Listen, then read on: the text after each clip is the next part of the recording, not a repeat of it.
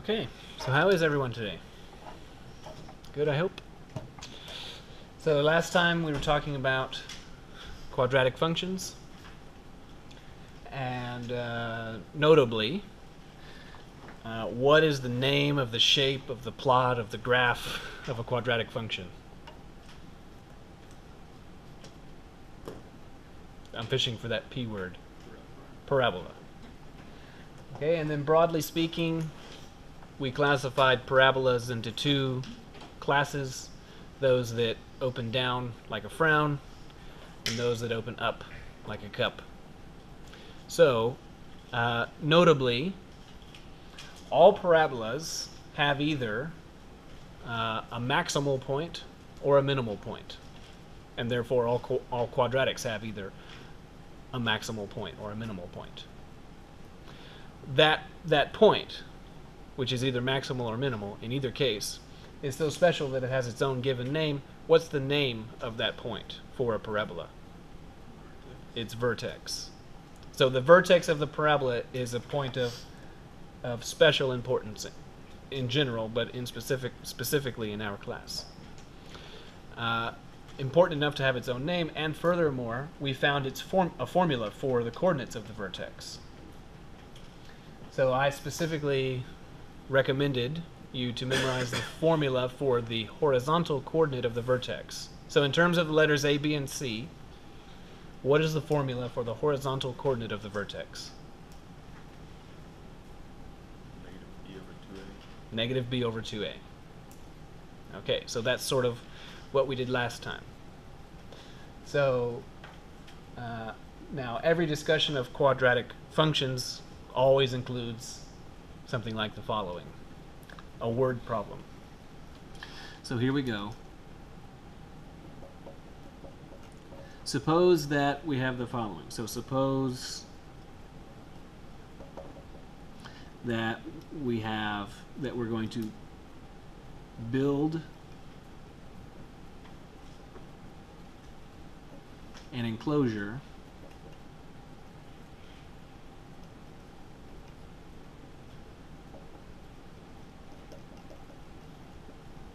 from 300 meters of fence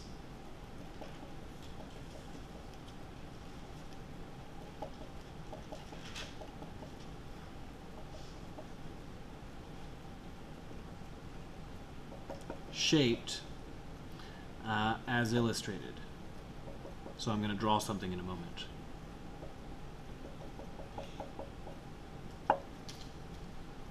So what I want is I want you to find the dimensions and area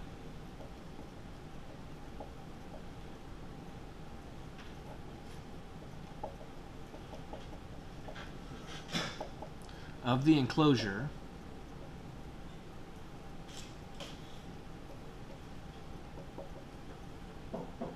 with maximal area. So, and the particular shape that it must be, it must be like this. It must be a rectangle.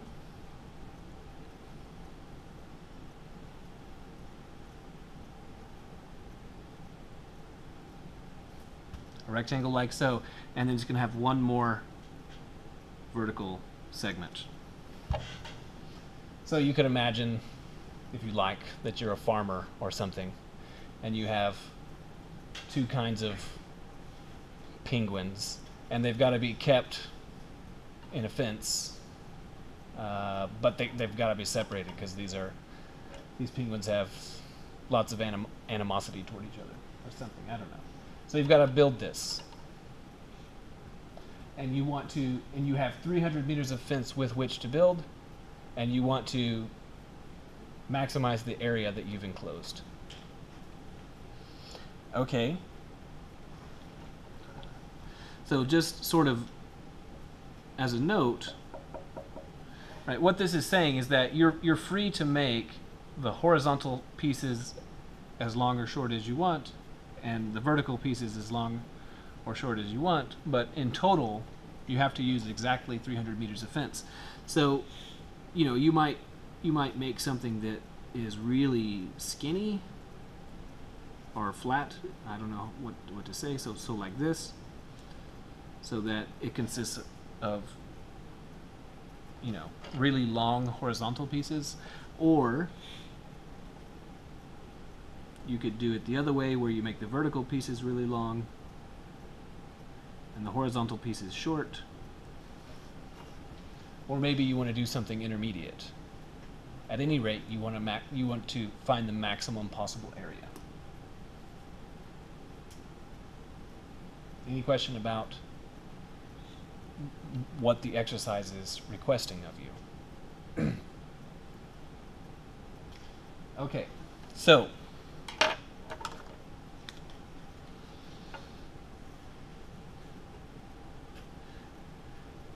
this keyword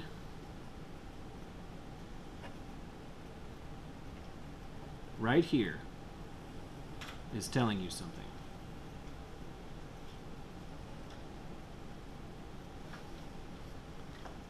So when you see that word maximal or its counterpart minimal in, in the context of a word problem like this, that means that, so this means there is a quadratic function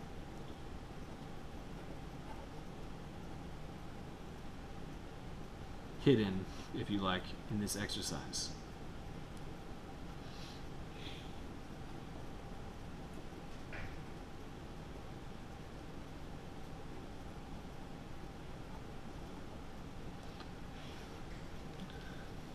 Because I want you to maximize something. And in, in this class, the only thing that you know how to maximize is a quadratic. That's it. Furthermore, you only know how to maximize a specific kind of quadratic. Those that open how? Down. So it must open down.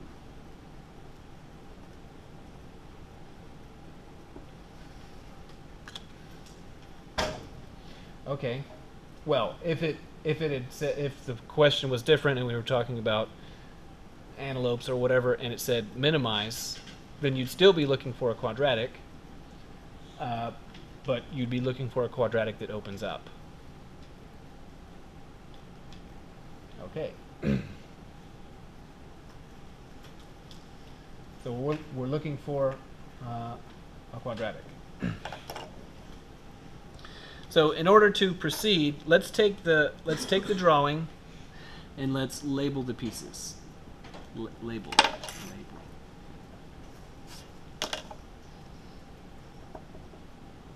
So that is to say, we need to come up with names for the various measurements. So the length of the horizontal pieces. What do you want to call that length? The hor horizontal length. H. I don't want to use H. That that un, under normal circumstances that's a perfectly good name, except the problem with H is going to be that we're going to use we sort of hold H in our heart to be the a coordinate of the vertex. So so I don't want to use that. But other but thank you for offering. How about how about I just use X? Okay, we'll do that. So let's call that X. Okay. So in the enclosure, is there just one X? There's two of them, right? Because if you were to build this, and if you were to make this, say, you know, 20 meters going that way, then, well, you'd need another one up there, otherwise all the penguins would escape, right? So there's another one up here.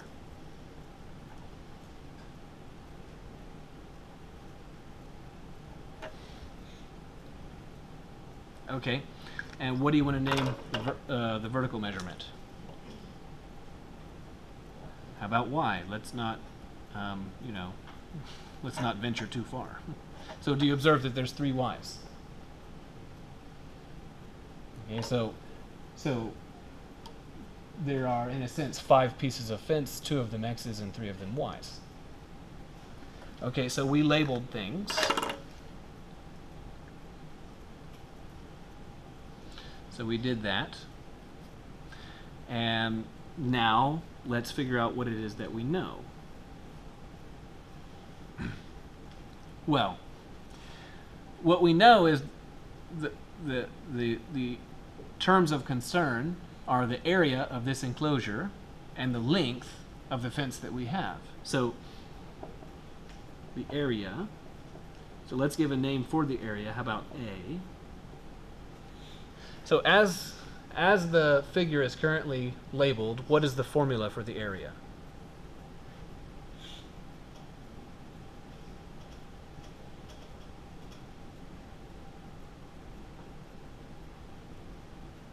What do you think? x times y, right? Base times height. It's a rectangle. So it's got to be xy.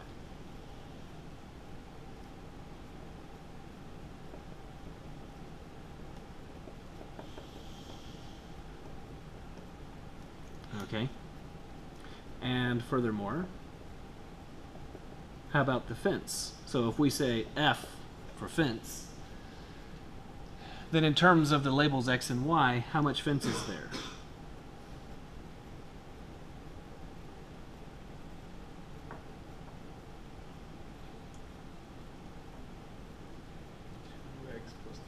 Two x plus three y. 2x plus 3y. That's how much fence there is. But then, according to the constraint laid down in the exercise, how much fence is there? 300, right? So not only is f that, we furthermore know that f is 300.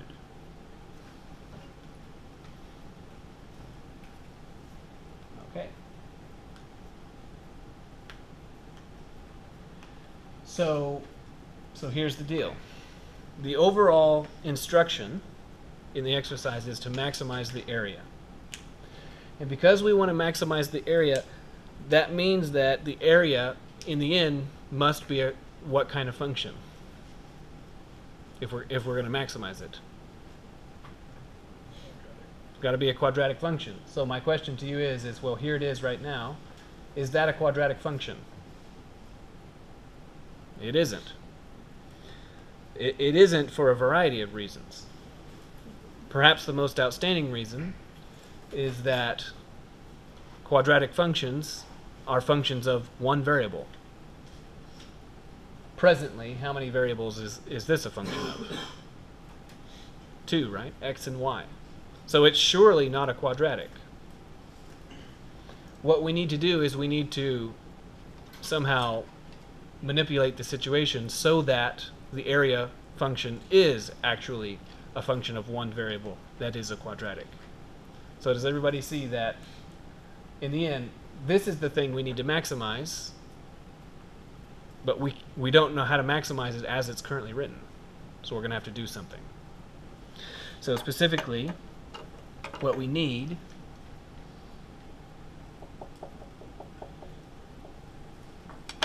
we need this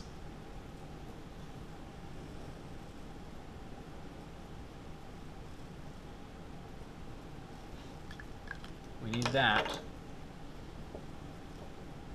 to be a quadratic function.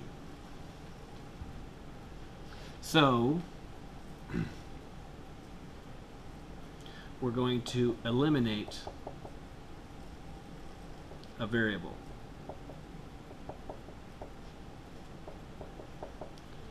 Which is to say, we need to perform some sequence of actions so that there's, on, there's only x's left or there's only y's left. So what can we do?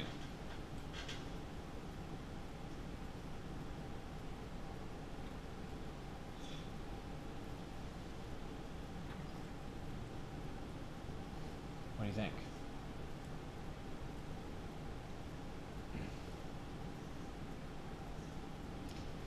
So, kind of in a sense, you need to know well, how could I turn, for example, how could I turn y's into x's? How are, how are x's and y's related to each other? You know, maybe it's three x's for one y, or something like that. Well, on the one hand, we know that the amount of fence is 2x plus 3y. And on the other hand, we know that the amount of fence is 300. So then necessarily these two things must be equal to each other. So specifically, we know that 2x plus 3y is 300. And now note from here that we can solve for y, can't we? So let's do just that. Let's solve for y. So 3y is 300 minus 2x. And then what?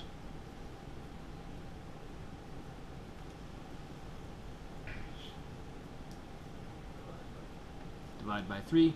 So y is one, 100 minus 2 thirds x. Okay.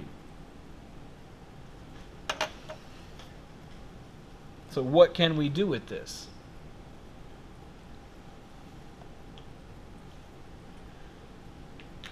This piece of information.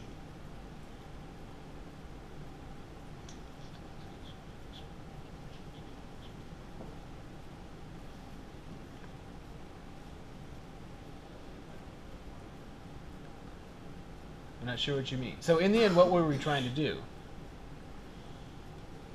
So globally, we're trying to maximize something, which means there's a quadratic somewhere. And also, we can see logically that this is what we're supposed to maximize, but it's not a quadratic. So we need to turn it into a quadratic. In particular, it has two variables, but we needed to have one. So what should we do? All that, right? So we can take this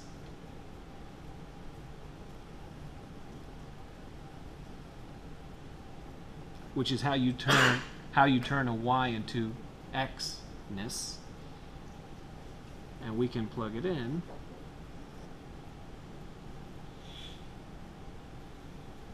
to there. And if we replace that y with this x stuff,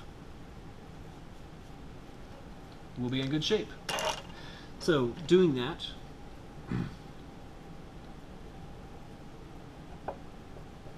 a is x multiplied by that stuff. 100 minus 2 thirds x. So now have a look at this one. Now is that a function of one variable? Oh, it is. Ah, we're, we're making progress. Now, what specific kind of function do we need it to be? A quadratic. Is it?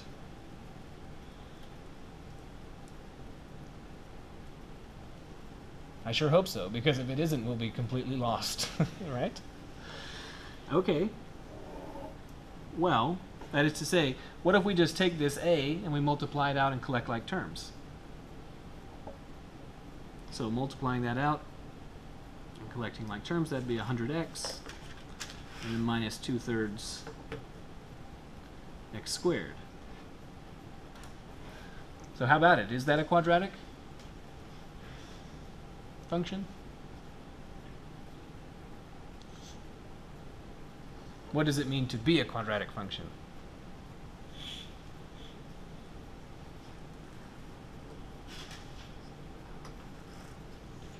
Mm-hmm. A polynomial of degree 2. So is this a polynomial of degree 2? It is. Thank goodness. That means that we know how to that means that, you know, it means a lot of things. On on the one hand it means oh, we must be on the right track. Cuz that's the only thing we know how to maximize. So, let's say that okay, I see it's a quadratic. I'm going to I'm going to write it with the biggest degree first. That is to say I'm going to write that term first. And suppose that I make the following error.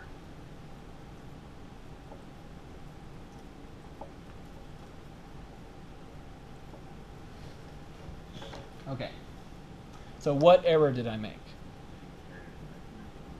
I lost the negative. Now, in the context of just just that, that's really a relatively minor error like, oh yeah, that's like a typo. You you left off the negative. Okay. And in, in just that context, that's a minor error. But in the context of this exercise, this is a categorical error. This is not a minor thing. This is this is an enormous thing error. Why why is this error an enormous error? It says to have a maximum area. Right. So so can you be specific? Um, can can you elaborate? has a minimum. Yeah, as it's written, this is a quadratic, and as it as it's written cur- currently, how does this one open? It opens up. Because as it's written, it has a positive leading coefficient, and positive people are smiling, right? So opens up. So this is not a minor error. This is a catastrophic error. so it's got to be negative. So you might think, I don't know, it still, still doesn't sound that big of a deal. What if you were running a business? Your own business, your business. And then you thought, you know what? I know a little bit of algebra. I know what I'm going to do. I'm going to maximize my profit. And then you diligently set down and perform a calculation. You say, that's what I need to do to maximize my profit. And then next week you're out of business because you you minimized your profit, right? oh, it's not good. okay. so, uh, we found a quadratic that opens down. It has a maximizer. That's great. Where does, for any quadratic uh, that opens down, where does the maximizer occur?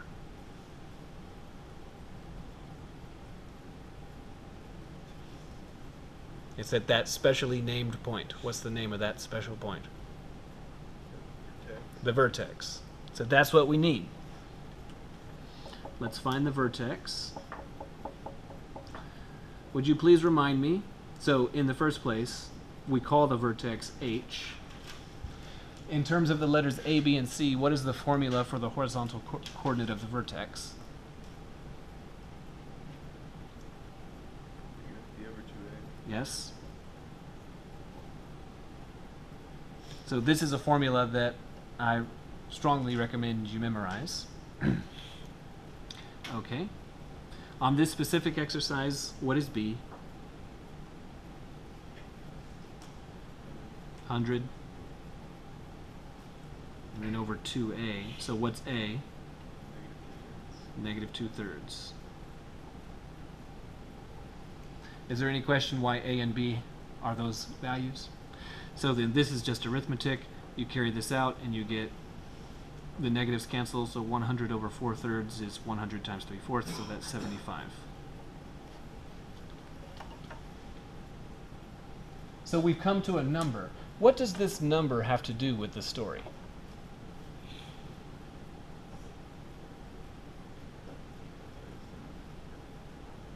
Is this the maximum area? Or what? Sorry? Nearly. You're, you're nearly there. So X's are inputs, A's are outputs. So this is an X. What specifically is it?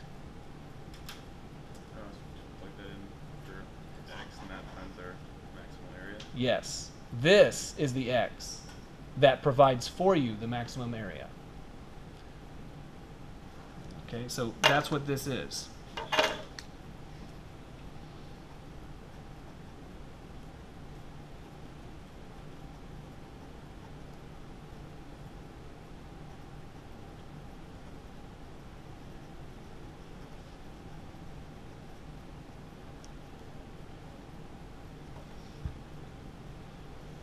Okay.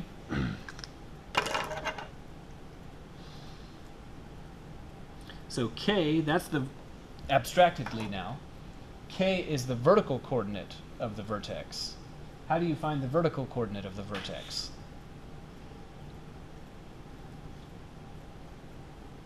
Seventy-five into that equation. Yeah, we just found this 75, plug it into there.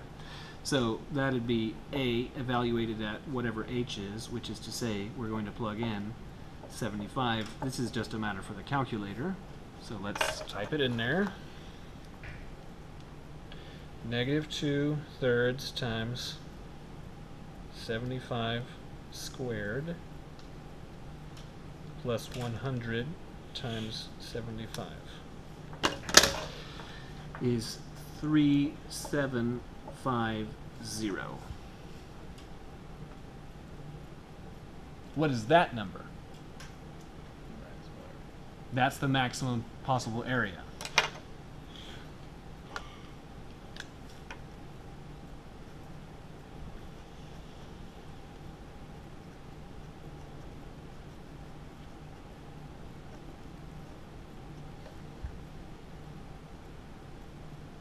Okay. so now we can make a conclusion. The shape of the enclosure is like so.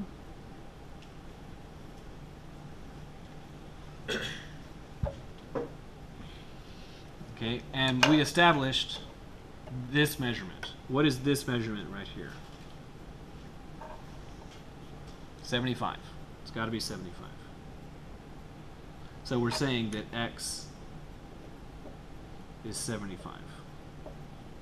And furthermore, we know that A is 3750. Notably, what do we not know? We don't know y currently. So in particular, we need we need this measurement here. Well, how do we figure out that measurement?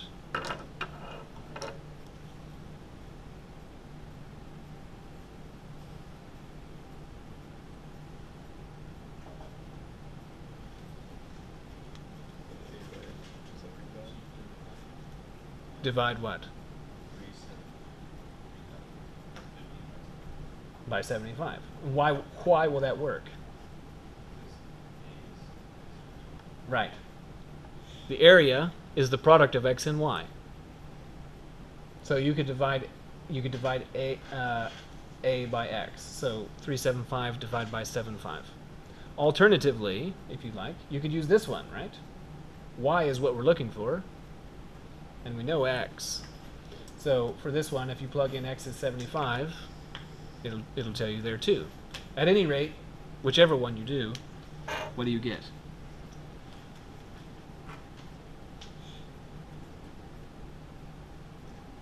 You get 50.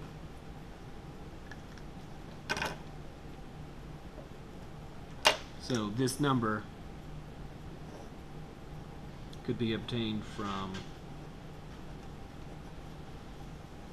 a is xy or y is 100 minus 2 thirds x. Any question about this? So now, some, some notes about such an exercise. You're gonna be given a graded question where I give you some story. And maybe it's about bananas or giraffes or antelopes or something, and then somewhere I'm gonna say maximize it or minimize it. So somewhere that's gonna come in.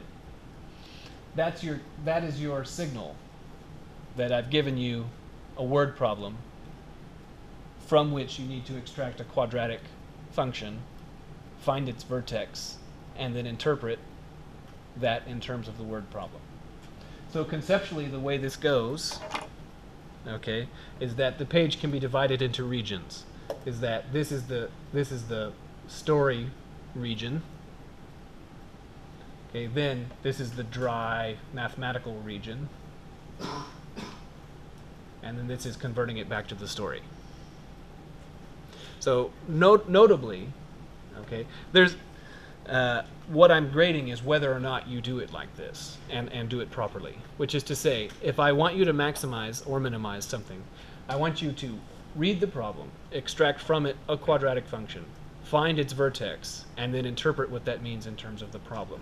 Now, another way to solve this, more or less, working on the assumption that um, that um, all the answers are going to be integers in a college algebra class. You know, you can kind of just sort of eyeball it and say, well, um, you know, I'll try maybe maybe x should be 20 and y should be whatever, and then just try out a few possibilities and write a, write a whole bunch of scratch and then say, oh, it's got to be this one, you will get zero points for such an effort. Because, because, uh, what's being graded is you take a story, you turn it into a quadratic function, you find its vertex, you turn it back into story. That's what's being graded. Nevertheless, there is a student, almost surely, who will in two weeks do exactly what I said and receive a zero. They're probably not sitting in the class right now, but maybe they'll watch the video and they'll hear me giving this warning. Any questions about this? So, Yeah. how come K is A of H? Okay, because in, the end, what we did is we we ended up making a quadratic function that looks like this. A of x, if you like, is that thing. Negative two thirds x squared plus 100x. So what this means, what this means, is that there is a, you know, you could plot things and you could say, ah, well, here we have this, and then uh, this results in a parabola that opens down.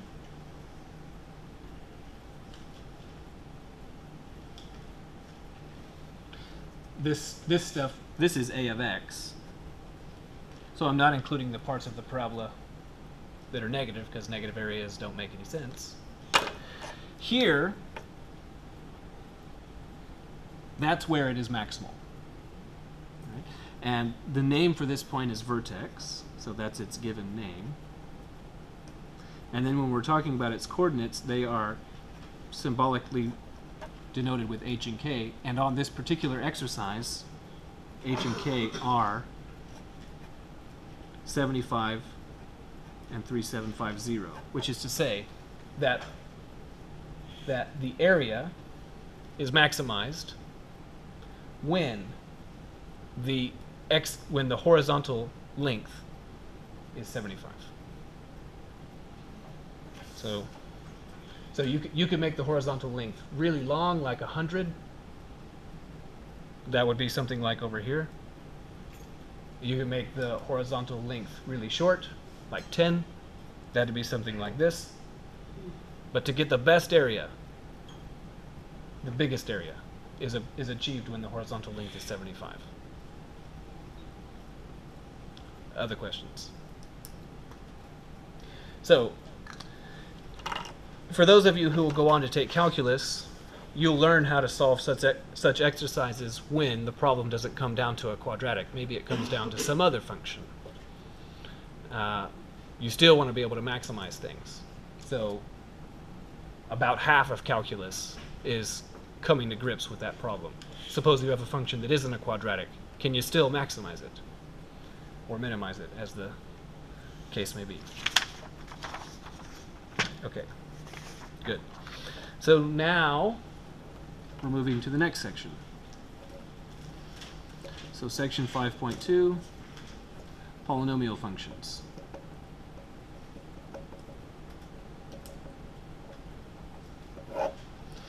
So a quadratic function is a polynomial function, and it so happens, it so happens that it's a polynomial function of degree 2.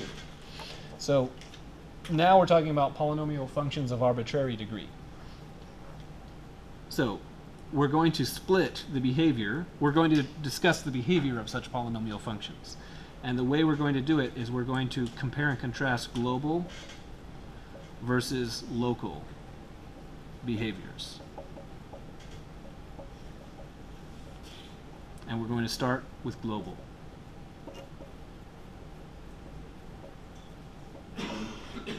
So in the first place, here is like the fourth time or so that I've written this. So a sequence of functions.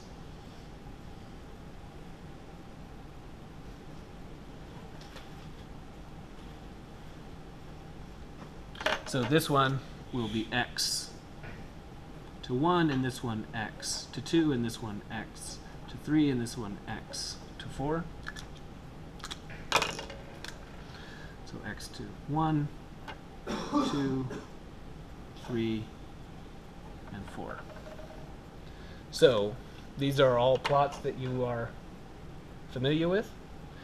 So this one is a straight line.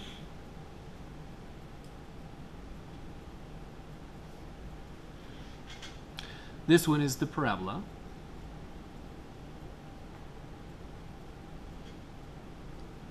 The next one is the cubic, which is like the parabola, but the left arm has been twisted down. and then the quartic, which is like the parabola, except it's flatter near the origin and steeper away. And the notable thing that we've said so many times, and I'll say again, is that the behavior of these depends strongly on the parity, that is to say, even versus odd. And notably, considering left side and right side and, and calling them branch, branches, this has one branch down and one up. This one has two up, down and up, up and up. And that behavior continues. So now, if I draw another four axes,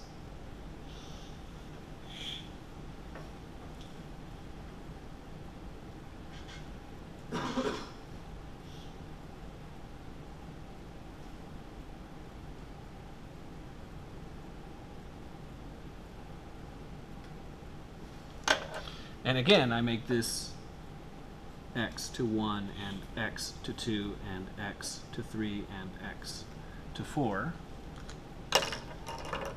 So, so far exactly the same. 1, 2, 3, 4.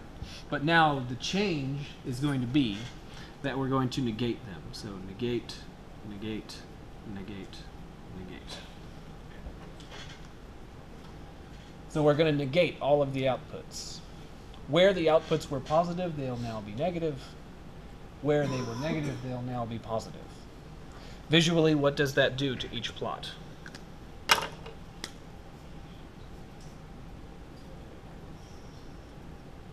Yeah, it's a reflection across x. So they will look like this.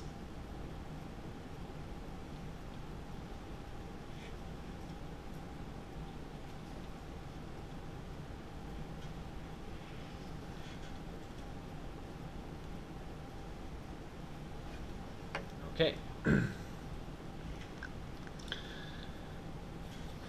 Now, concerning the top row, they have the parity behavior. But I'd like for you to observe what is happening to all of the right branches. What do all the right branches have in common? They all go up, don't they? all of the right branches go up. And then in contrast, for these, what is true about all the right branches? They all go down.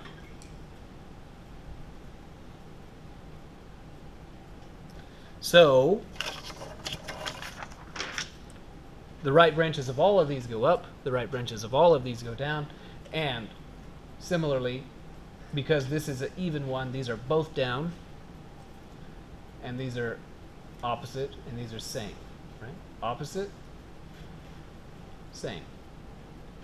Opposite, same. Well, this characterizes the global behavior of every single polynomial that there is.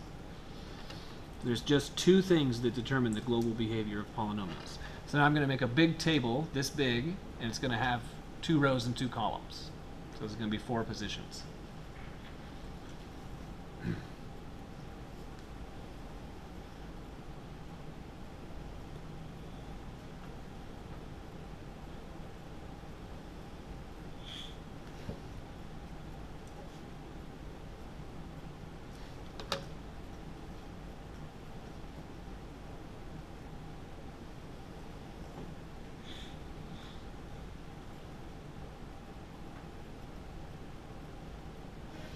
Okay, so for these, we're going to ask about the parity of the leading term.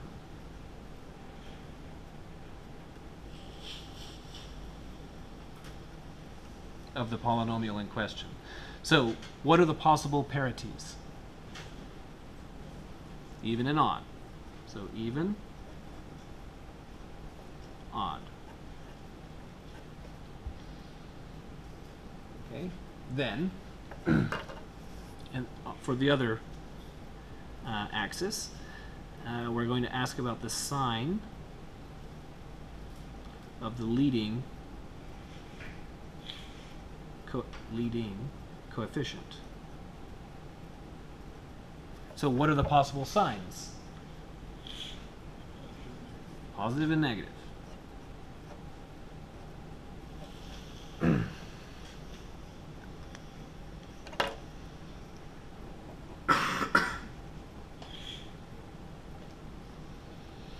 Okay, so now we're going, in each cell, I'm going to draw a little picture at the top and then some language at the bottom. So little picture, little language. Now, if we have an even polynomial,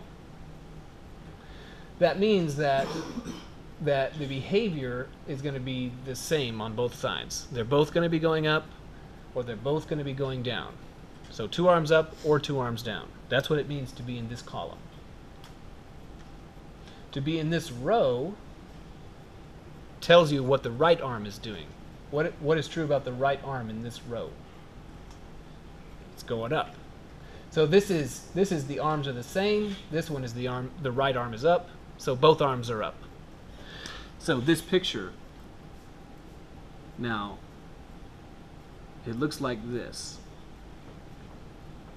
So I, I left out the middle because we're talking about a polynomial. We're not talking about x squared or x to 4. We're talking about possibly something like 10x to 4 minus 3x squared plus blah, blah, blah, blah, blah. And when you add in all that other stuff in the middle, uh, all the lower order terms, that causes this to possibly wiggle a little bit. So we're not interested in the wiggle. You can ignore that. We're just interested in the red, but I'm drawing in the green so that you know that there's something else there. This green is the local behavior. We're not currently talking about it. We're talking about the global behavior. Okay? How about this one? So odd, that means that the branches are doing opposite things, right? Isn't it nice that odd and opposite both start with O? That's terrific. So one arm up and one arm down, and specifically, which arm is going up in this cell? The right arm is going to have to be going up. Why is the right arm going up? Because it has a positive leading coefficient. So that means that that we must be looking at something globally that does this. So eventually it does that, but you know there could be some kind of some kind of wiggle going on here in the middle. Okay, now I'll quickly finish the other ones. So this one is even, so the same, and the right is down, so both down.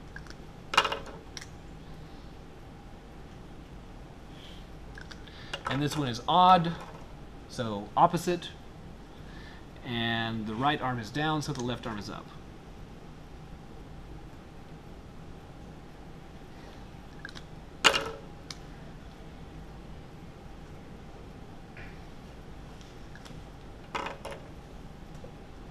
Okay.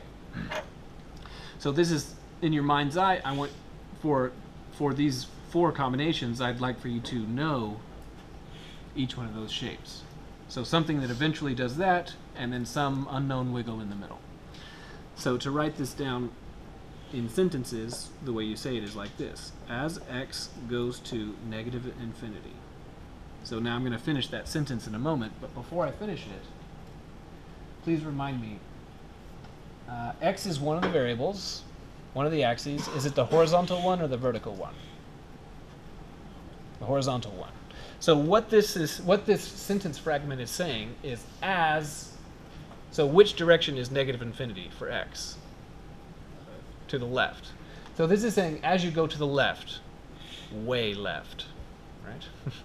as you go to the left on this plot, in- in the middle you're doing wiggly, wiggly, wiggly, but you get far enough to the left, then what starts happening? You go up. So the way you write that is you say y goes to infinity. And similarly, as you go to the right, what happens? y goes to infinity. So now we need to write these two sentences in the other bits of the table. So for this one, as you go to the left, you go down.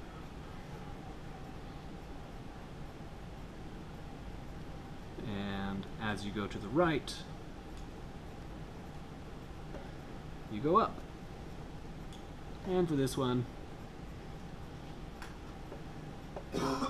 as you go to the left, you go down, and as you go to the right, you go down. As you go to the left,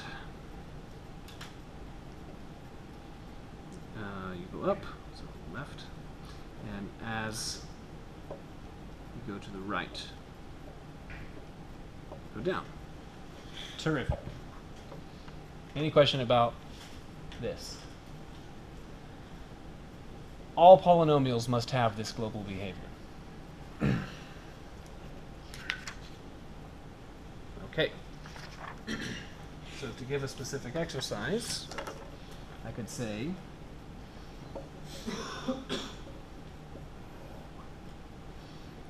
well here is a particular drawing of a polynomial.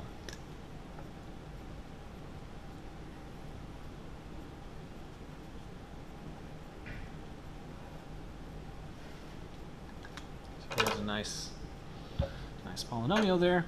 Then I could ask questions about it. I could say, well, what is its parity? What is the sign of its leading coefficient? And please finish these sentences. As x goes to the left,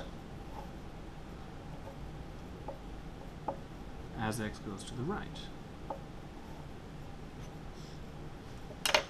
Well, how about it for this drawing?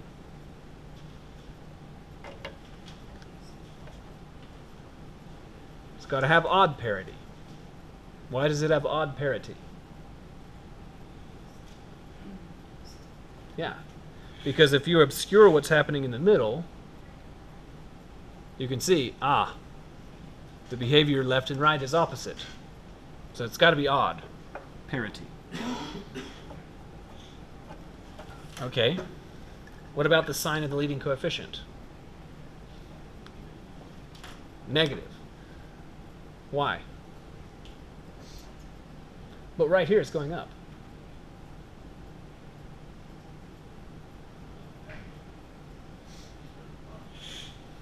But but what matters is is you got to you've got to go past all of that wiggle, right? You you go past all that wiggle. Do you observe that you go far enough to the right, you're gonna start going down. Okay. So negative. Okay. As x goes to uh, the left, what does y do? y goes up. And as x goes to the right, y goes down. Okay. So now, uh, I can give you any bits of this information. So, for example, I could, uh, I could give you, you know, just just that much information. So have a look at just that much. What if I had just given you that? What's the parity of that? Why is the parity of, of what you can see definitely odd?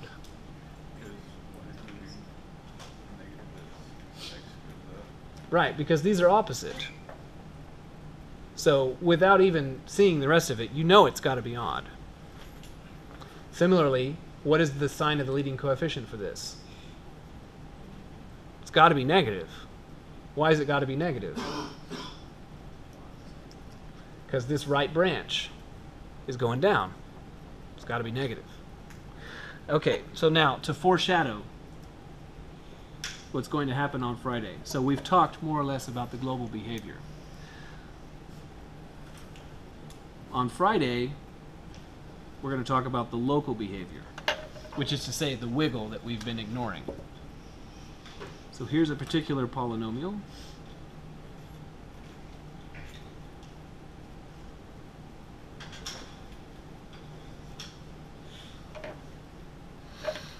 Now, the things that we're going to be interested in, among among them, are this point and this point. So now those are called x-intercepts according to our previous discussions. But in the context of polynomials, these are called zeros. So we're going to have to find them, and we're going to talk about them. Okay, now notably, when you draw this polynomial, notice that when you draw, you cross the x-axis for this zero. So this is a crossing zero. Whereas for this one, when you draw, you bounce off, bounce, bounce. You don't actually cross the axis. So we're going to have to talk about that. The other ones that we're going to have to talk about are this one. Because for this one, if you ignore everything except stuff close to there, doesn't that look like a maximum? if you ignore all the rest of the stuff? Similarly, this one, and this one, and that one. Because if you ignore everything far away from that one, that looks like a minimizer. These points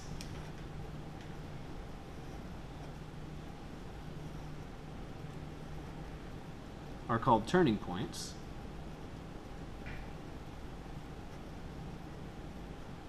And we're also going to be interested in them. And so what I'm telling you is that that's the global behavior, and we've talked about it.